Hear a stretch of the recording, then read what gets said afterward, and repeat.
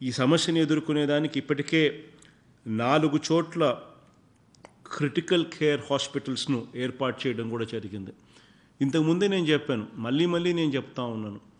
దీనివల్ల చనిపోతా ఉన్న పరిస్థితులు ఏమిటి దీని ఇంపాక్ట్ ఏమిటి అనేది చూస్తే ఎనభై పాయింట్ తొమ్మిది శాతం కేవలం ఇళ్ళల్లో ఉండి ఒకవేళ ఇది వచ్చినా నయమైపోయి మళ్ళీ మామూలుగా తిరిగే పరిస్థితిలోకి వెళ్ళిపోవచ్చు. ఎనభై పాయింట్ తొమ్మిది శాతం కేవలం ఇళ్ళల్లో ఉండే నయమైపోయి బయటికి వెళ్ళిపోయే పరిస్థితి ఉంది. కేవలం పద్నాలుగు శాతం మాత్రమే హాస్పిటల్స్లోకి పోయే పరిస్థితి. అందులోనూ కేవలం నాలుగు పాయింట్ ఎనిమిది శాతం మాత్రమే ఐసీయూలోకి కూడా పోయే పరిస్థితి.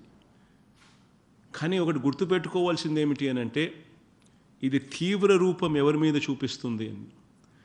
ఎవరైనా ఇంట్లో మన పెద్దవాళ్ళను ఎవరైతే అరవై ఏళ్ళ పై చిలుకున్న వాళ్ళు ఉన్నారో ఎవరికైతే బీపీ ఉంటుందో షుగర్ ఉంటుందో ఎవరికైతే ఇంకా ఇటువంటి కిడ్నీస్ ఇటువంటి పరిస్థితి కిడ్నీస్ బాగోలేని పరిస్థితి ఇటువంటి ఎవరికైతే ఉంటాయో వాళ్ళ మీద ఇది ఎంత తీవ్రమైన ప్రభావం చూపుతుంది అన్నది మన కళ్ళతో మనమే చూస్తూ ఉన్నాం.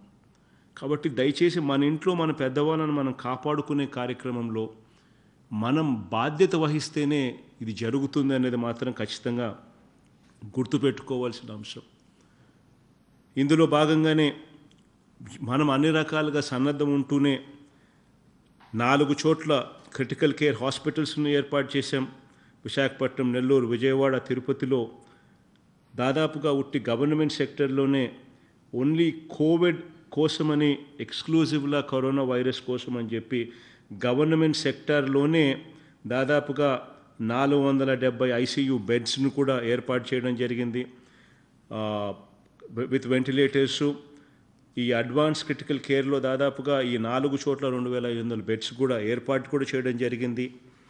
ఇక మిగిలిన ఆ ఫోర్టీన్ పర్సెంట్ కేసులు ఏదైతే ఉంటాయో for these fourteen percent cases which require hospitalisation and some amount of medical care ఎవరికైతే అవసరమో ప్రతి డిస్ట్రిక్ట్లోనూ వీళ్ళ కోసం రెండు వందల బెడ్లు ఎవ్రీ డిస్ట్రిక్ట్లో for stable pay for stable patients yet requiring hospitalisation వీళ్ళ కోసం ప్రతి జిల్లాలోనూ ఇప్పటికే రెండు వందల బెడ్లను ప్రతి జిల్లాలోనూ ఏర్పాటు కూడా చేయడం కూడా జరిగింది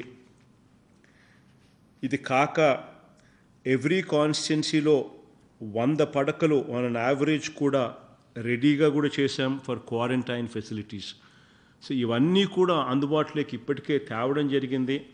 అన్ని రక ప్రైవేట్ సెక్టర్లలో ప్రైవేట్ సెక్టార్లో ఉట్టి ఈ కరోనా వైరస్ కోసమే దాదాపుగా మరో రెండు వందల పదమూడు వెంటిలేటర్స్ను కూడా సిద్ధం చేయడం కూడా జరిగింది. సో అన్ని రకాలుగా ఈ వ్యాధిని ప్రబలితే కంటైన్ చేసేదానికోసం స్టాండ్ బై అరేంజ్మెంట్స్ అన్ని రకాలుగా రెడీగా ఉన్నాం Hi, this is Trisha. I'm Radhika Apte. వస్తాను కృష్ణమూర్తి నేను ఆలీ మాట్లాడుతున్నాను You're watching E3 Media Network. E three media network E three media network E3 Media Network. E3 means entertainment entertainment, entertainment.